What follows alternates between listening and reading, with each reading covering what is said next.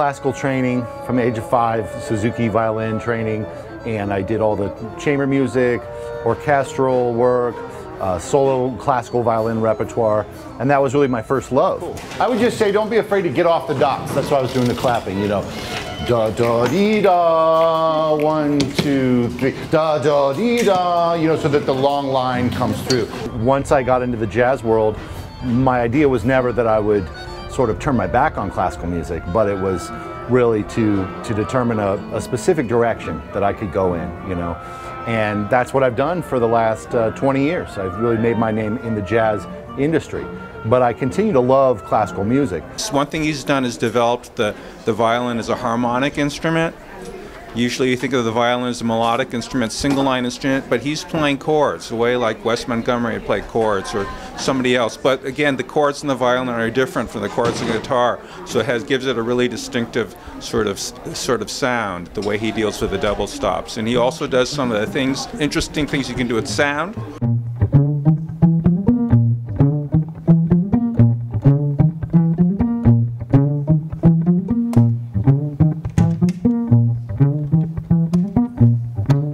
I'll be at um, several middle schools, high schools, and university programs this coming week in uh, Tucson and Phoenix. And throughout this coming year, I'll be at over 60 high schools and middle school programs.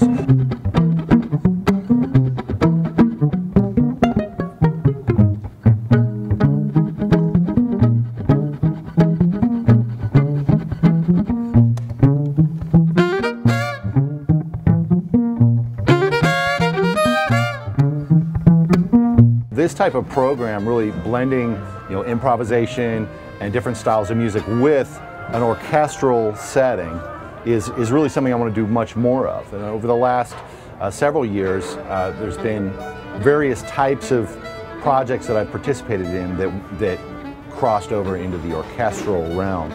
Really my job as a violinist was to be a part of all kinds of projects, just across the map, from the most avant-garde projects to really traditional jazz to you know really anything you can think of.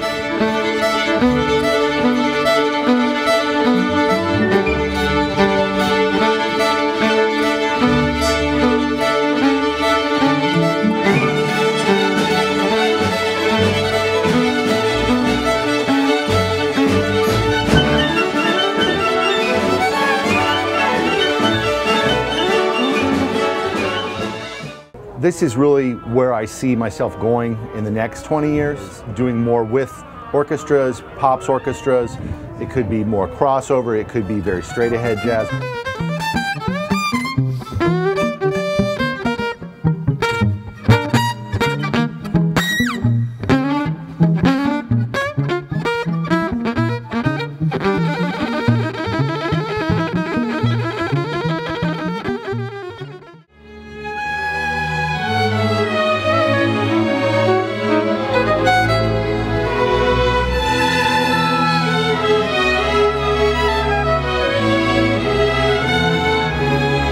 That I wrote for my, uh, my first violin teacher. Her name's Ginny Christofferson, and she started a Suzuki violin program in Columbus, Ohio in uh, 1976. She was one of the first uh, people to bring this uh, Japanese um, educational philosophy over to the United States.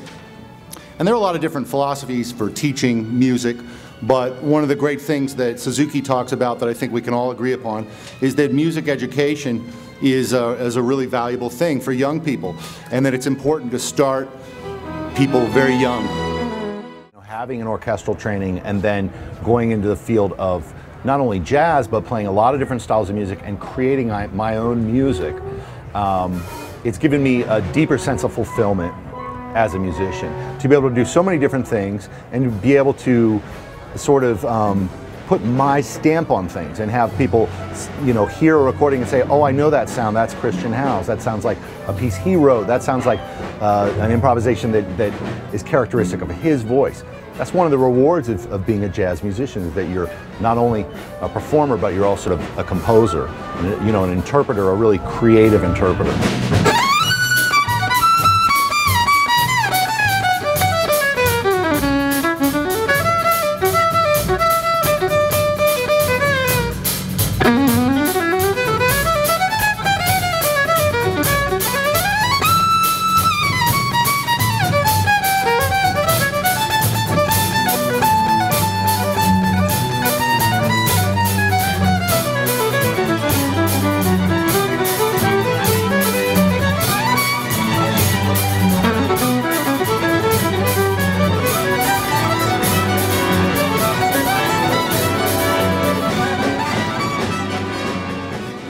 And Chris, thank you for playing with us. Thank you for playing with us.